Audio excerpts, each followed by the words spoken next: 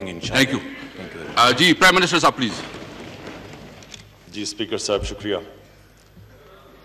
Speaker صاحب اس کی اہمیت کشمیریوں کے لیے نہیں صرف اس سیشن کی اس کی اہمیت صرف پاکستان کے لیے نہیں۔ یہ جو ریپکشنز انڈیا نے جو کل فیصلہ کیا یہ ساری دنیا پہ اس پر ریپریکشنز جا سکتے ہیں، اس لیے یہ بڑا امپورٹنٹ ہے۔ اور میں پھر سے ریکویسٹ کرتا ہوں کہ یہ آرام سے تحمل سے سنیں بیکاز یہ بڑی امپورٹنٹ میسج آج یہاں سے جانی ہے۔ جب ہماری حکومت آئی تو جو مین پرائرٹی میری حکومت کی تھی وہ یہ کہ پاکستان میں غربت ختم کی جائے، کم کی جائے۔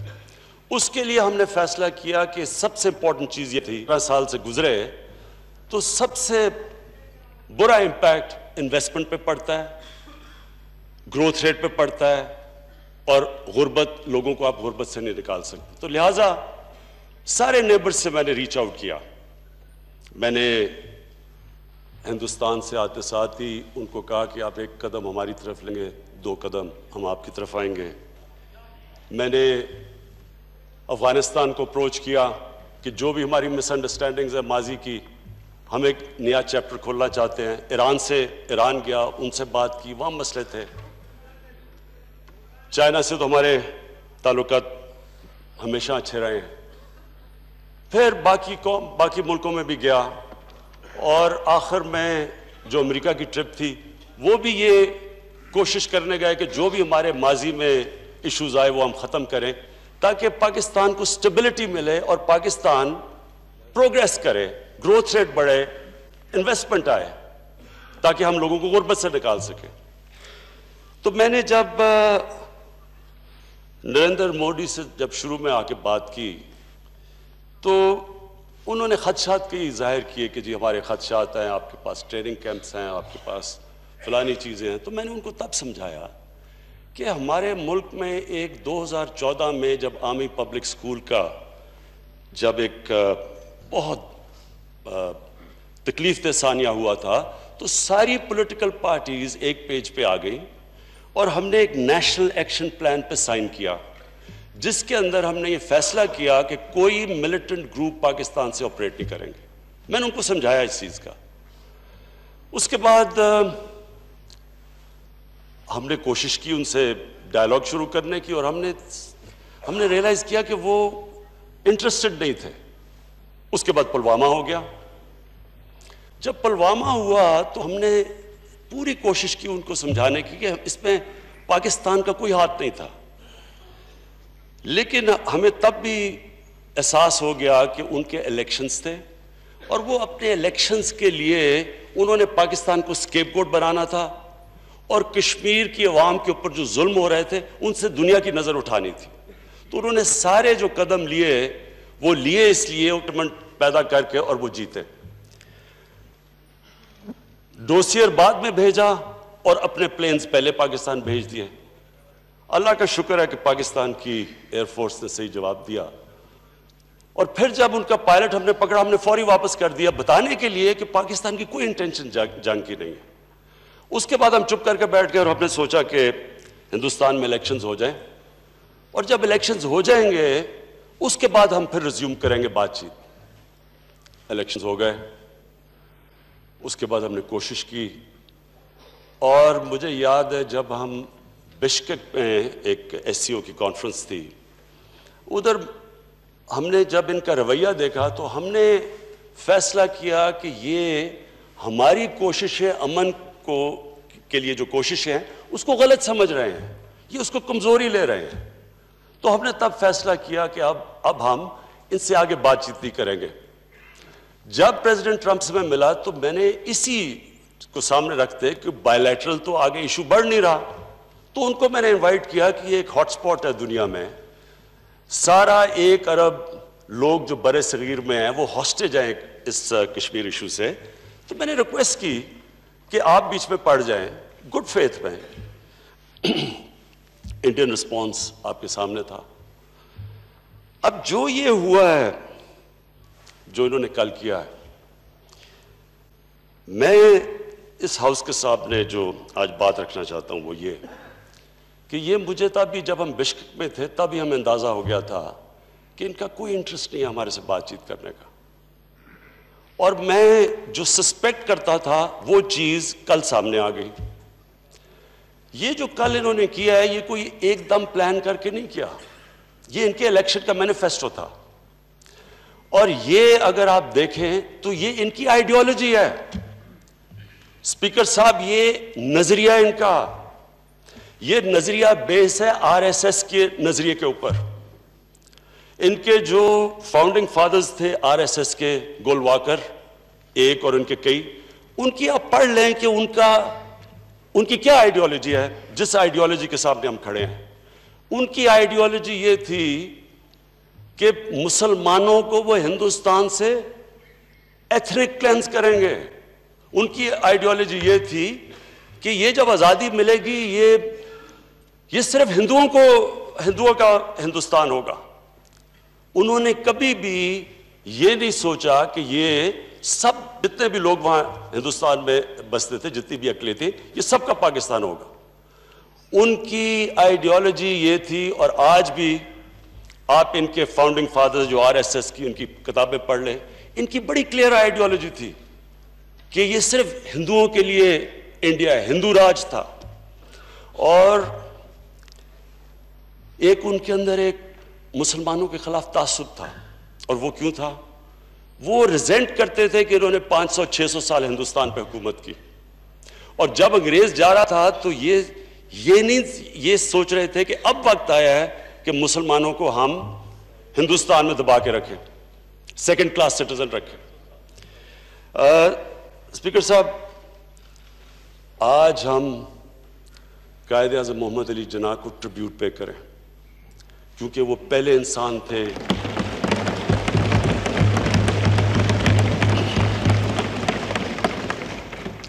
پہلے انسان تھے جو اس آئیڈیالوجی کے تھرو دیکھ لیا انہوں نے۔ قائد اعظم محمد علی جناح ہندو مسلم یونٹی کے امبیسڈر سمجھے جاتے تھے۔ لائف ہمارے سامنے۔ سمجھنے کی بات یہ ہے کہ کیسے قائد اعظم جیسا انسان جو کہ جس کے لیے جو اس سب چیزوں سے اوپر تھے۔ وہ آزادی چاہتے تھے انگریز سے۔ کیا وجہ تھی کہ قائد اعظم جیسا انسان آخر میں اس نے فیصلہ کیا کہ پاکستان بننا چاہیے؟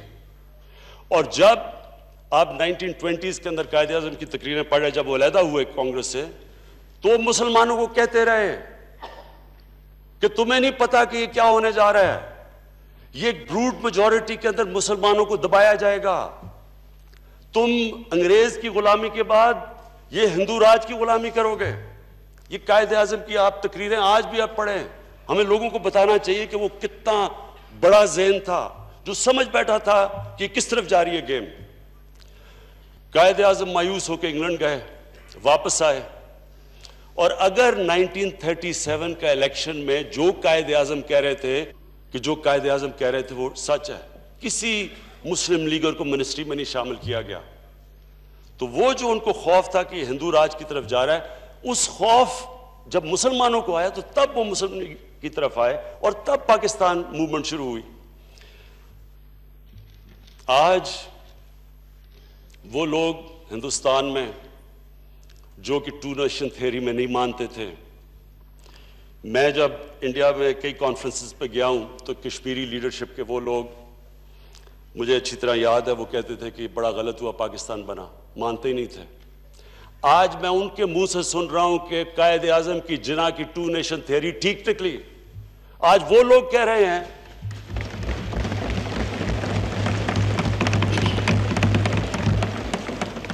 آج اس، یہ موجودہ ہندوستان میں وہ وہ لوگ کہہ رہے ہیں کہ یہاں مسلمان یا اقلیتیں، مسیح برادری سے بھی وہی ہو رہا ہے۔ یہ برابر کے شہری نہیں ہیں۔ اور اسپیکر صاحب، اسی میں میں قائد اعظم کی اب بات کرنا چاہتا ہوں، صرف چھوٹی سی یہ کہ قائد اعظم نے جب گیارہ اگست کی تقریر کی، جو فیمس تقریر ہے کہ سب آزاد ہیں اپنی عبادت گاہوں میں جانے کے لیے، اور ہم غلطی سے کہتے ہیں کہ جی یہ قائد اعظم سیکولر تھے، وہ جو ان کی تقریر تھی میں یہ جو آپ کو ابھی کہنے کی کوشش کر رہا ہوں کہ یہ اصل میں دو نظریہ، یہ دو نظریہ کیا ہیں؟ ایک تو نظریہ آپ کے سامنے آ گیا ہے کہ ریسسٹ نظریہ ہے۔ مسلمانوں کو ایکول نہیں مانتے۔ ہندوؤں کا وہ چاہتے ہیں ہندوستان۔ دوسرا نظریہ جس کے اوپر پاکستان بنا تھا، جو قائد اعظم کا نظریہ تھا۔ وہ یہ نظریہ تھا کہ یہاں سب برابر کے انسان ہوں گے۔ اور وہ نظریہ کدھر سے لیا تھا؟ وہ مدینہ کی ریاست سے لیا تھا۔ وہ نبی صلی اللہ علیہ وسلم کی سنت پہ چلے تھے۔ نبی صلی اللہ علیہ وسلم کی زندگی اٹھا کے دیکھ لے مدینہ کی ریاست میں جو انہوں نے مساک مدینہ، جو انہوں نے سینٹ کیتھرنس چرچ کے ساتھ جو انہوں نے کوورنٹ سائن کیا، کہ جب تک دنیا رہے گی، مسلمان آپ کی عبادت گاہوں کو پروٹیکٹ کریں گے۔ نبی صلی اللہ علیہ وسلم کی سپیچ جو انہوں نے آخری خطبہ دیا۔ آخری خطبہ میں انہوں نے کہا کہ ہم سب آدم کی اولاد ہیں۔ ہم، ہمارا رنگ جو بھی ہو، ہم ایک حضرت آدم کی اولاد ہیں۔ یعنی انسانوں ریسزم کو ریجیکٹ کیا۔ انسانوں میں فرق نہیں تھا۔ یہ بہت عظیم، میں یہ کہنا چاہتا ہوں کہ جو ہمارا نظریہ جس پہ پاکستان بنا ہے، اس میں یہ تعصب نہیں تھا۔ قائد اعظم نے جب یہ گیارہ اگست کی تقریر کی تھی اور جب انہوں نے پہلے مسلمانوں کو پاکستان موومنٹ میں کہا تھا کہ یہاں تمہیں حقوق نہیں ملیں گے، وہ مسلم کارڈ نہیں کھیل رہے تھے۔ وہ سمجھ رہے تھے کہ، وہ سمجھ گئے تھے کہ جس آئیڈیالوجی کے سامنے ان کا مقابلہ ہے، جو آج کی آئیڈیالوجی ہے، جس نے کل جو کشمیر میں کیا، وہ اس آئیڈیالوجی کی، وہ سمجھ گئے تھے۔ قائد اعظم جو ان کے دشمن بھی تھے، وہ جانتے تھے کہ وہ کوئی ڈرامے نہیں کرتے تھے، کوئی جو کہتے تھے، وہ مین کرتے تھے، وہ کوئی ریٹرک میں نہیں پڑھتے تھے۔ تو جو گیارہ اگست کی تقریر تھی، اس پہ قائد اعظم نے جو کہا تھا، وہ ریاست مدینہ کے اندر جس طرح مائنورٹیز کو رکھا گیا تھا۔ میں اسپیکر صاحب، ساروں کو، اپنی قوم کو بھی لوگ ریئلائز نہیں کرتے کہ اس کی سگنیفیکنس کیا ہے۔ حضرت علی رضی اللہ تعالیٰ ایک یہودی شہری سے کیس ہار جاتے ہیں۔ خلیفہ وقت ایک عام اقلیت کے شہری سے کیس ہار جاتے ہیں۔ حضرت علی رضی اللہ تعالیٰ پہلے تو خلیفہ تھے۔ دوسرا ان کا مقام سوچے کہ جو ہماری، ہمارے دین میں ان کا کیا مقام ہے۔ یہ سوچیں کہ وہ ایک ایک جج فیصلہ کرتا ہے ایک مائنورٹی کے لیے ان کے خلاف۔ سوچیں آج کل کی دنیا میں یہ تصور کوئی کر سکتا ہے، آج تو ہم ماڈرن ورلڈ میں بیٹھے ہوئے ہیں۔ یہ تب فیصلہ ہوا۔ کہنے کا میرا مطلب یہ ہے کہ ہم جب ہمارے ملک میں ہم مائنورٹی سے نا انصافی کرتے ہیں، تو ہم اپنی آئیڈیالوجی کے خلاف جاتے ہیں۔ ہم اپنے دین کے خلاف جاتے ہیں۔ لیکن سپیکر صاحب، جب یہ موجودہ بی جے پی کی حکومت جب پکڑ کے گوشت کھانے والوں کو لٹکا دیتی ہے اور لوگ موب پکڑ کے ان کو مار دیتے ہیں اور جو انہوں نے ابھی کشمیر میں کیا اور جو پہلے پانچ سال تشدد کیا، جو مسیح برادری سے انہوں نے کیا، یہ ان کی آئیڈیالوجی ہے۔ یہ ان کی آئیڈیالوجی ہے۔ ان کے ان کے جو ان کے فاؤنڈنگ فادرز تھے، وہ کہہ بیٹھے تھے کہ ہم ہم مختلف ہیں ان سے، ہم سپیریئر ہیں۔ ریسسٹ آئیڈیالوجی ہے۔ ہمارا جو آج مقابلہ ہے وہ ایک ریسسٹ آئیڈیالوجی سے ہے۔ اس لیے جب تک یہ بیک گراؤنڈ ہمیں پتہ نہیں چلے گی، ہم پھر آگے پلان نہیں کر سکتے کہ آج جو کشمیر میں انہوں نے کل کیا۔ کشمیر میں انہوں نے اپنی آئیڈیالوجی کے مطابق کیا۔ انہوں نے اپنے ملک کے کانسٹیٹیوشن کے اگینسٹ گئے اس گورنمنٹ اپنی سپریم کورٹ کے ورڈکٹ کے اگینسٹ گئی۔ جموں اور کشمیر کے ہائی کورٹ کے ورڈکٹ کے اگینسٹ گئی وہ سترہ یونائٹڈ نیشن سیکورٹی کاؤنسل کی ریزولوشنز کے اگینسٹ گئے وہ یونائٹڈ نیشنز کی جنرل اسمبلی کی ریزولوشن کے اگینسٹ گئے وہ سملہ اگریمنٹ کے اگینسٹ گئے انہوں نے جو فیصلہ کیا ہوا ہے کہ جو آج ریزولوشن میں کہا ڈیموگرافی بدلنا چاہتے ہیں، یہ کیا بیٹھے ہیں؟ وہ یہ چیز کیا بیٹھے ہیں کہ یہ جب کشمیر کا اسپیشل سٹیٹس چینج ہوگا تو وہ ڈیموگرافی بھی بدلنا چاہتے ہیں۔ ڈیموگرافی چینج کرنا فورتھ جنیوا کنونشن کے آرٹیکل 49 کے خلاف ہے۔ وار کرائم سمجھی جاتی ہے یہ۔ تو سارے انٹرنیشنل لاز اور اپنے ملک کے لاز انہوں نے وائلیٹ کیے اپنی آئیڈیالوجی کے لیے۔ اسپیکر صاحب، یہ ایک آئیڈیالوجی کے خلاف ہم کر رہے ہیں۔ اس لیے جو میں ابھی اینڈ میں آپ کو بتاؤں گا، پہلے سمجھنا چاہیے کہ یہ ایشو ہے کیا؟ یہ کہ نہیں کہ ایک دم انہوں نے فیصلہ کر کے چلے گئے۔ یہ مکمل طور پہ اپنی آئیڈیالوجی کے اوپر چل رہے ہیں۔ اب انہوں نے قانون پاس کر دیا، کشمیر کو انیکس کر دیا۔ اب کوشچن یہ ہے کہ کیا وہ کشمیر کے لوگ جو پانچ سال سے پہلے بھی، لیکن پانچ سال سے خاص طور پہ جو ان کے اوپر تشدد ہوا ہے اور ظلم ہوا ہے، اس کے باوجود وہ جو جد و جہد کر رہے ہیں، کیا وہ قانون کی وجہ سے فیصلہ کریں گے کہ اب ختم ہوگی ہماری جد و جہد؟ ہم غلام بننے کے لیے تیار ہو گئے۔ یہ تو اور اسپیکر صاحب شدت پکڑے گی۔ یہ تو اب اور لیول پہ چلی جائے گی۔ جو میں نے پریزیڈنٹ ٹرمپ سے کہا تھا کہ آپ پڑھیں وہ اس لیے کہا تھا کہ ہماری بائیلیٹرل ٹاکس تو فیل ہو چکی تھی، وہ ہوتی نہیں تھی۔ یہ اس لیے ہم سب کو سمجھنا ہے کہ یہ بڑا سیریس ایشو بن گیا ہے۔ میرا جو آج مقصد اس کا ریکوزیشن کرنے کا یہ جوائنٹ سیشن تھا، اس کے بڑے سیریس کانوٹیشنز ہیں۔ نمبر ون چیز کیا ہے؟ انہوں نے اب وہاں اس کو جو پانچ سال سے کرتے آ رہے ہیں، جو ان کی آئیڈیالوجی ہے، اب انہوں نے اور دبانا ہے۔ کشمیر کی ریزسٹنس کو، آزادی کی موومنٹ کو۔ یہ کیونکہ ان کو اپنا برابر کے انسان نہیں سمجھتے۔ اسپیکر صاحب، یہ یہ ریسسٹ ہے آئیڈیالوجی یہ یہ اگر وہ اپنے برابر کے انسان سمجھتے تو وہ کوئی ڈیموکریٹکلی کوشش کرتے، کوئی موومنٹ چلاتے، کوئی لوگوں کو اپنے پوائنٹ آف ویو پہ لے کے آتے۔ وہ مائٹ از رائٹ پاور استعمال کر رہے ہیں۔ وہ ان کو کرش کرنے کی کوشش کریں گے۔ اور جب وہ کرش کریں گے، رد عمل آئے گا۔ پلوامہ ٹائپ انسیڈنٹ ہوگا۔ پلوامہ ٹائپ انسیڈنٹ ہوگا۔ میں آج پیشن کو ہی کرتا ہوں۔ انہوں نے وہی کرنا ہے جو پہلے انہوں نے کیا، انہوں نے دنیا نے کہنا جی پاکستان سے دہشت گردی آئی۔ جبکہ سب کو پتا ہے کہ پلوامہ میں پاکستان کوئی لینا دینا نہیں تھا، ان کو بھی پتا ہے۔ تو اب، جب یہ ان کو اوپریس کریں گے، اور زیادہ ظلم کریں گے اس کا جب رد عمل آئے گا، میں آج کہہ رہا ہوں، اس لیے یہ سیریس ہے، انہوں نے ہمیں بلیم کرنا ہے، انہوں نے ایک اور بھی چیز کرنی ہے۔ انہوں نے، مجھے اب خوف ہے کہ انہوں نے کشمیر میں ایتھنک کلینزنگ کرنی ہے۔ انہوں نے وہاں لوگوں کو کوشش کرنا ہے کہ لوگ وہاں سے نکالے تاکہ دوسری میجورٹی ہو جائے اور وہ جو باقی لوگوں کو غلامی کے لیے دب جائیں۔ یہ ساری جب چیزیں کریں گے اور یہ پاکستان کو بلیم کریں گے، اس کے بہت سیریس کانسیکوینسز ہیں۔ کیونکہ مجھے پتا ہے جب پلوامہ میں، جب انہوں پلوامہ کے بعد جب ہندوستان نے اپنے جیٹس بھیجے اور رات کو بالا کوٹ کے اوپر بومنگ ہوئی، تو ہماری تین بجے بات چیت ہوئی، صبح کے تین، ساڑھے تین بجے۔ آرمی چیف تھے ایئر فورس چیف تھے۔ اب اس وقت ہم یہ سوچ رہے تھے کہ کیا لوگ کیجولٹیز ہوئی کیا پاکستانیوں کا خون ہوا؟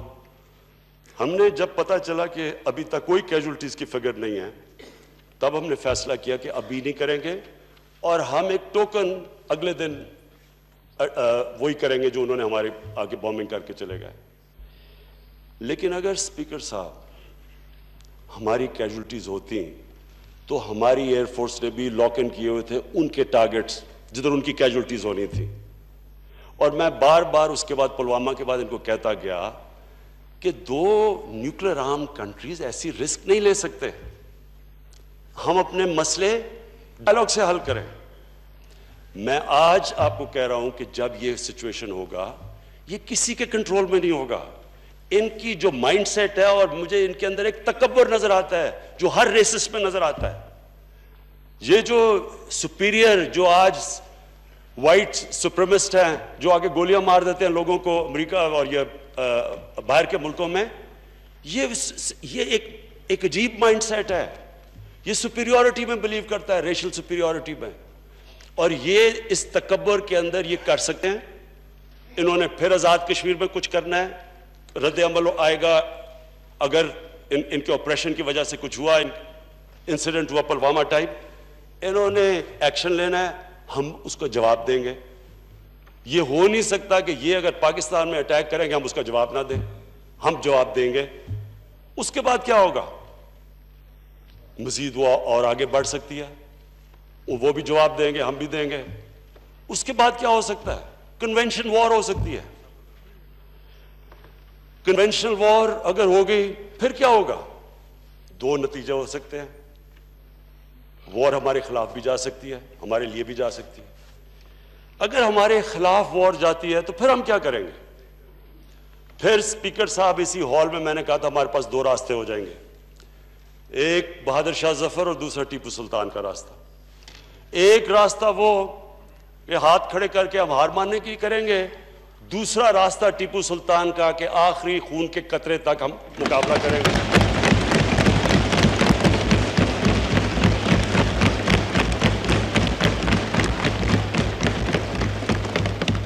اور سپیکر صاحب، میں آج آپ کو کہہ رہا ہوں، میں اپنی قوم کو جانتا ہوں۔ مسلمان، ایمان والا انسان موت سے ڈرتا نہیں ہے۔ اس کو صرف اپنے رب العالمین کو خوش کرنے کے لیے وہ انسانیت کا سوچتا ہے، لیکن وہ خوف کے اوپر فیصلے نہیں کرتا۔ ہم اس لیے کوشش کرتے ہیں امن کے لیے، کیونکہ ہمارے میں ہمارے دین انسانیت ڈالتا ہے۔ ہمیں فکر ہے انسانوں کی۔ لیکن میں یہ سوال پوچھتا ہوں کہ اگر ہم آخری قطرے تک لڑیں گے تو وہ کون سی جنگ ہوگی؟ وہ وہ جنگ ہوگی جو کوئی نہیں جیت سکتا۔ سب ہار جائیں گے وہ جنگ۔ نیوکلیر بلیک میل نہیں کر رہا۔ میں کامن سینس کو اپیل کر رہا ہوں۔ ہے اس کے لیے۔ اس لیے یہ ٹائم ہے ایکشن لینے کا۔ اس لیے ہم دنیا کو اپیل کرتے ہیں۔ کہ ایک ملک جو بلیٹنٹلی سارے انٹرنیشنل قوانین کی دھجیاں اڑا رہا ہے، جس کو فکر ہی نہیں ہے، کیونکہ اس کو پتا ہے کہ پہلے کیا ہوا، جب وہ کشمیریوں پہ ظلم کر رہا تھا، جب یو این کی بھی ایک آدھ ہیومن رائٹ پہ رپورٹ آئی، پہلے تو وہ بھی نہیں کرتے تھے، اس کے باوجود دنیا نے کچھ نہیں کیا۔ کوئی ان کو کچھ نہیں کہتا تھا۔ ان کو اور ہلا شیری ملی کہ اچھا اگر دنیا کچھ نہیں کہتی، آگے گیا۔ اور اس لیے انہوں نے یہ ایکٹ کیا ہے۔ اور اگر اب دنیا نہیں کچھ کرے گی، میں آپ کو کہہ رہا ہوں کہ اس کے سیریس کانسیکوینسز ہیں۔ یہ اور آگے جائے گی گیم اور یہ ادھر چلی جائے گی، جدھر سب کو نقصان ہوگا جو کوئی نہیں تصور کرنا چاہتا۔ اس لیے یہ ہے ٹائم ایکٹ کرنے کا۔ میں اس ہسٹری تاریخ کا جو یہ پیریڈ ہے، میں اس کو وہ پیریڈ سمجھتا ہوں جو ایک بہت بڑی ریسس رجیم تھی، جو ہٹلر کا جرمنی تھا۔ جو ناٹسی پارٹی تھی، جو یہ پارٹی ان کی حرکتیں کر رہی ہے، وہ ناٹسی پارٹی کرتی تھی۔ ابھی میں الیکشن کی رپورٹس پڑھ رہا تھا، ان کی پارٹی نے وہ حرکتیں کی ہیں الیکشن کے اندر جو ناٹسی پارٹی کرتی ہے۔ انہوں نے جو اس وقت ہندوستان کی اپوزیشن ہے، اس کو اس کو دیوار سے لگا دیا ہے۔ کیونکہ انہوں نے ہر چیز کی ہے، ہر وہ چیز کی ہے کنٹرول کیا۔ وہ انہوں نے چیزیں کی ہیں جو کہ ہندوستان کی ڈیموکریسی کے علاوہ جو سارا ہندوستان کا کیریکٹر تھا، جو ان کے بڑے بڑے فاؤنڈنگ فادرز مہاتما گاندھی جاروال نہرو، اس ساری سیکولرزم کو وہ ہٹ کر رہے ہیں۔ یہ وہ سوچ ہے، وہ آئیڈیالوجی ہے جس نے مہاتما گاندھی کا قتل کیا۔ یہ وہ والی آئیڈیالوجی ہے سپیکر صاحب، جس کو اگر ابھی نہ روکا گیا تو وہ جو فیمس ڈیول چیمبرلین کو کہتے تھے اپیزمنٹ کہ جب سٹینڈ لینا چاہیے تھا ہٹلر کے گیس وہ نہیں رہے ہو، اس کو اپیز کرتے رہے۔ اگر دنیا آج ایکٹ نہیں کرے گی، اگر دنیا جو سو کال ڈیولپ ورلڈ ہے، جو ایڈوانسڈ ورلڈ ہے، وہ اپنے بنائے ہوئے قوانین کو اپ ہولڈ نہیں کرے گی، تو یہ آگے کدھر جائے گی بات؟ پھر ہم ذمہ دار نہیں ہیں۔ ہم اس لیے آج کھڑے ہیں سار، یہ سارا سیشن بلایا ہے کہ یہ ایک اس سطح پہ جا رہی ہے اب، جو ساری دنیا کو نقصان پہنچا سکتی ہے۔ تو میں اپنی گورنمنٹ سے یہ واضح کرتا ہوں کہ ہم ہر فورم کے اوپر اس کو لڑیں گے۔ یونائٹڈ نیشن سیکیورٹی کاؤنسل کے اوپر۔ ہم سوچ رہے ہیں کہ ہم انٹرنیشنل کرمنل کورٹ میں کیسے یونائٹڈ نیشن سیکیورٹی کاؤنسل کے ذریعے جا سکے یہ سٹڈی کر رہے ہیں۔ جنرل اسمبلی میں یہ ریز کریں گے ہیڈز آف سٹیٹ سے یہ بات کریں گے۔ ہر فورم کے اوپر میڈیا پہ اس چیز کو اٹھائیں گے، دنیا کو بتائیں گے کہ یہ جو آج ماڈرن ویسٹرن ورلڈ جن ویلیوز کے اوپر کھڑی ہے، جو وہ کنڈیم کرتی ہے ماضی میں، جس کو ناٹسی نقصان ہو رہا ہے ہندوستان میں، اس لیے بدقسمت سے دنیا رسپونڈ نہیں کر رہی، لیکن آخر میں یہ ساری دنیا کو اس ظلم کا نقصان ہوگا۔ کشمیر کی جو موومنٹ ہے وہ کراش ایک پارلیمنٹری لیجسلیشن سے نہیں ہو سکتی۔ کشمیروں کشمیریوں کے ساتھ سارا پاکستان نہیں، مسلمان دنیا کی آواز ہے آج۔ بلکہ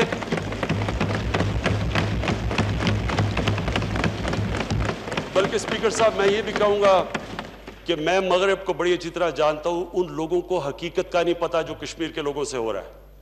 میں ذمہ دار لوں گا، میری پارٹی لے گی، ہم دنیا کے مغرب میں جا کے لوگوں کو بتائیں گے کہ جس طرح کا ظلم کشمیری کشمیریوں پہ وہاں ہو رہا ہے اور ہندوستان کے اندر اوور آل جو مائنورٹی اور مسلمانوں سے ہو رہا ہے، یہ سارے وہ ویلیوز ہیں جو ویسٹرن ورلڈ کہتی ہے کہ ہم اپ ہولڈ کرتے ہیں۔ ان کی خلاف ورزی ہو رہی ہے۔ اس لیے زیادہ تر ان کو پتہ نہیں ہے۔ ان کو ان کو ایشوز کا نہیں پتا کہ اس وقت کشمیر میں کیا ہو رہا ہے۔ ہمارا کام ہے دنیا میں یہ اس کو اٹھائیں اور لوگوں کو بتائیں کہ یہ آپ ایک طرف کہتے ہیں کہ جناب نیوکلئر کی بلیک میل نہ کرو، لیکن یہ تو آپ اگر اس کو لاجکلی فالو کریں گے، یہ تو تباہی کی طرف جا رہے ہیں۔ یا تو وہ یا تو یہ ایکسپیکٹ کریں کہ ہم آرام سے پاکستان قبول کر لیں جی کہ یہ بی جے پی حکومت کی سپیریئر ریشیولیٹی اور ہم مان لیتے ہیں ان کو سپیریئر وہ تو ہم مانیں گے نہیں۔ تو جب وہ نہیں مانیں گے تو دوسرا کورس تو کولیشن کا ہے۔ اور وہ پھر سے میں رپیٹ کرتا ہوں، وہ صرف یا سب کانٹیننٹ تک نہیں، اس کا افیکٹ جائے گا، وہ ساری دنیا کا اس کے اوپر افیکٹ جائے گا۔ شکریہ۔ جناب شہباز شریف صاحب جی سر